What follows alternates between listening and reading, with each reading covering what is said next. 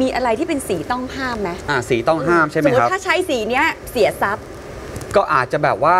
จริง ๆ แล้วเขาเรียกว่าสีกาลกินีดีกว่าอืมนะครับค่ะแต่ในความเป็นจริงแล้วเนี่ยมันจะมีข้อ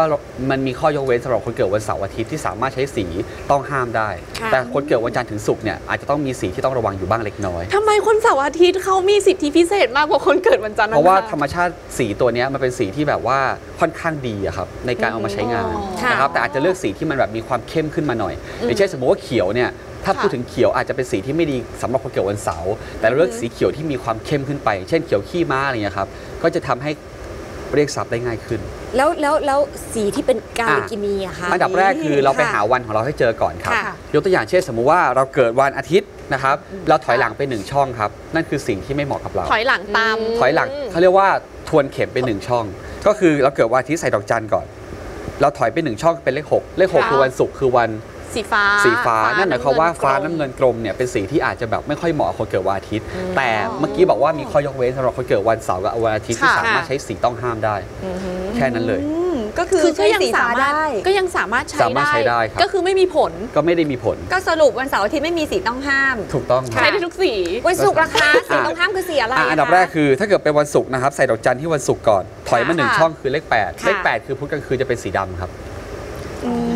ตา ยพี่แล้ย่าวโกนผมเลยเชื่อจ๋าผมพี่สีน้ำตาล ผมพี่ไม่ดำรอด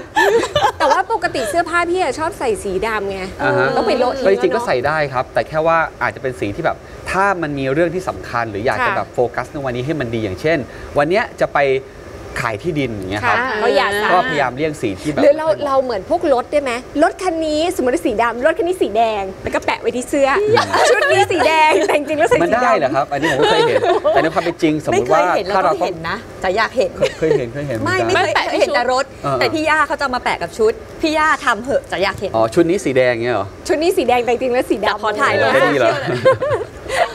ได้ไหม ก็น่าสนใจนะครับ แต่ต้องจลองริงๆ แล้วต้ผองลมองว่าใช่ไหมลองใช้สีที่เหมาะไปเลยดีกว่าค่ะอย่างสมมุติบางคนเนี่ยเขาบอกว่ารถคันนี้สีแดง แต่ว่ารถค่ะคันนี้เป็นสีดำผมค่ะอาจจะแนะนำว่าอย่าไปเอาสติกเกอร์ติดเลยมันตลก ก็แค่ไปหาของอะที่มันเป็นสีที่เหมาะกับเราเป็น accessory ในรถอ๋อ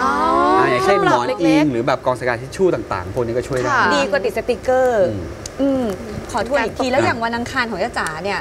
เลขสามอ่าก็จะเว้นถอียกไหมก็ว่าอยู่จะเว้นอยู่นะครับ ก็ถอยไปหนึ่งช่องก็เป็น เลข 2 ก็คือวันจันทร์ก็คือจันทร์ก็คือขาวเหลืองครีม เพราะฉะนั้นเนี่ยขาวเหลืองครีมอันนี้ก็คือเป็นสิ่งที่อาจจะต้องระมัดระวังในการใช้กับวันสำคัญ คุณคะไม่เป็นไรเปลี่ยนชุดวันนี้เลยค่ะพี่วัแนะนนี้นำวันนี้ไม่สำคัญธรรมดาประมาณนี้ครับ โอ้น่าสนใจมากทีนี้เราก็สามารถจะใช้สีพวกนี้เนี่ยไว้ในโทรศัพท์เราได้ ใช้ได้ครับ เปลี่ยนในวอลเปเปอร์ได้ค่ะ คุณผู้ชมคะ